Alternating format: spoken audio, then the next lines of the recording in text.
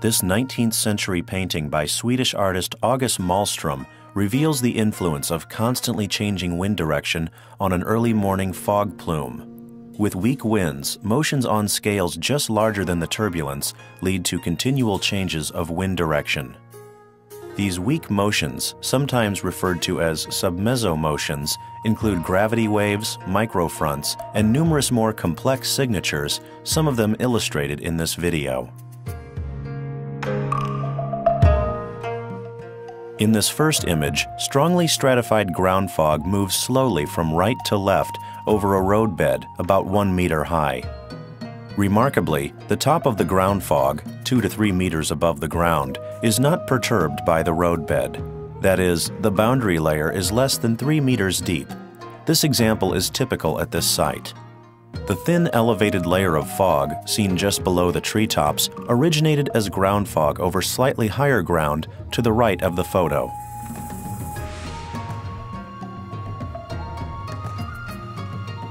This early morning photograph reveals multiple layers. The cause of this layering is not known, but may be the result of vertical mixing over thin layers where fog condensation marks the upper part of the mixing layers. The next photo captures stratified fog moving from left to right around a one and a half meter rise. In this image, machine-generated fog flows from left to right down a gentle slope, then rises over colder, denser air at the bottom, often referred to as a cold pool. Apparently, the downslope drainage flow has enough kinetic energy to rise over the cold pool, although it may be aided by a local pressure gradient. This picture illustrates how turbulent motions, interacting with a solitary wave on the right, leads to vertical mixing. Although giving the impression of highly disturbed airflow, the motions are actually quite weak.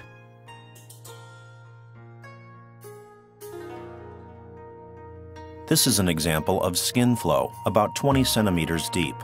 Waves in the skin flow are moving from left to right.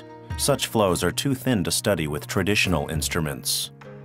Although still images of fog movements allow a visual way to identify various air currents, the real insight comes in watching these submeso motions in a time-lapse video.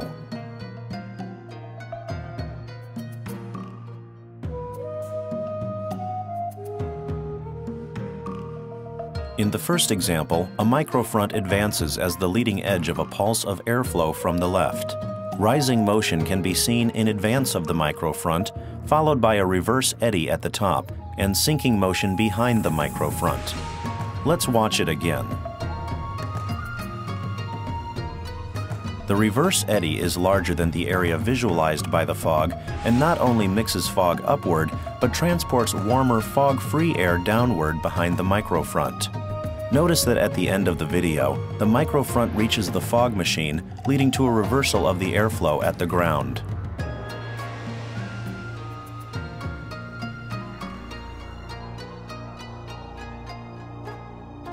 This video of machine-generated fog shows the quasi-two-dimensional structure of the microfront in the form of a vortex with an axis into the screen.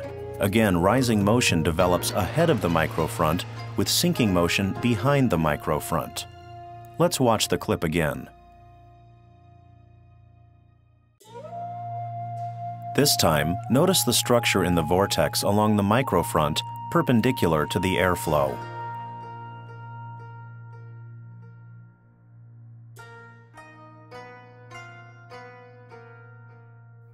A solitary wave moving to the left is followed by several cycles of a wave train propagating toward the right. With imagination, four or more cycles can be detected. A sequence of more than a few well-defined cycles is uncommon.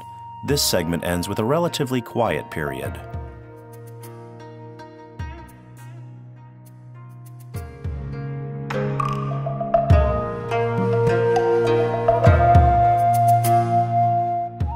This video segment represents a typical mix of submeso motions.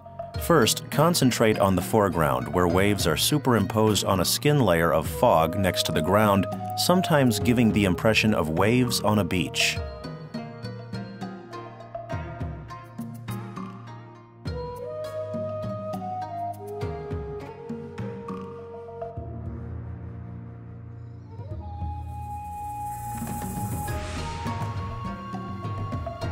Solitary waves in thicker fog in the background, but in front of the trees, seem not well correlated to motions in the foreground.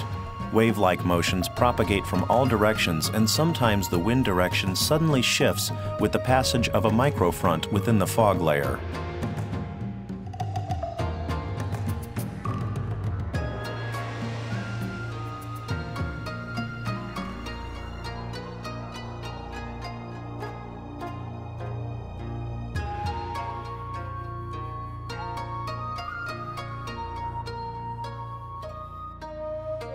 A seemingly quiet period now begins, but careful inspection reveals considerable submeso activity that presumably generates weak turbulence and vertical diffusion, as well as horizontal dispersion through changing wind direction.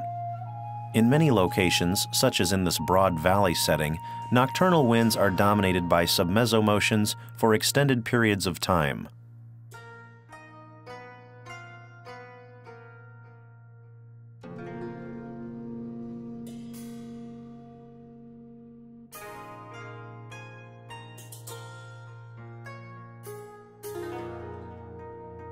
The barn on the left disturbs the flow throughout the video. On days when the wind is weaker and the stratification greater, the air flows around the barn instead of over it.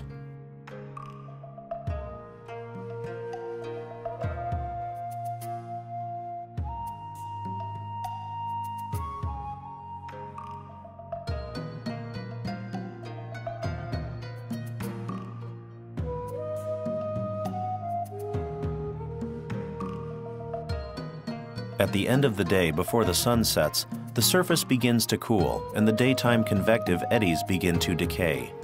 This video clip starts near the end of this decay period when stratification limits the turbulence activity. Surface winds were 3 meters per second prior to the decay and remained this strong above 10 meters height throughout the video. In spite of this significant airflow, the size of the eddies continues to decrease, sometimes in irregular fashion. Larger eddies continue to occasionally penetrate to the surface, but with decreasing frequency and strength as the surface continues to cool.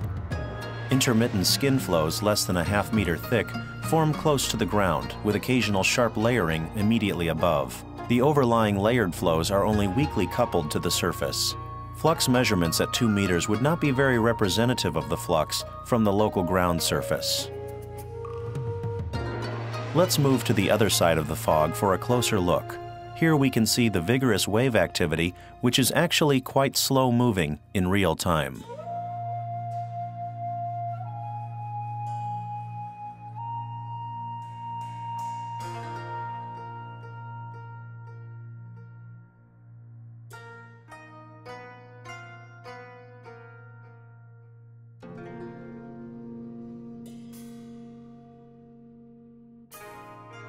Notice that the flow is sufficiently stratified that trees in the background do not significantly disturb the flow.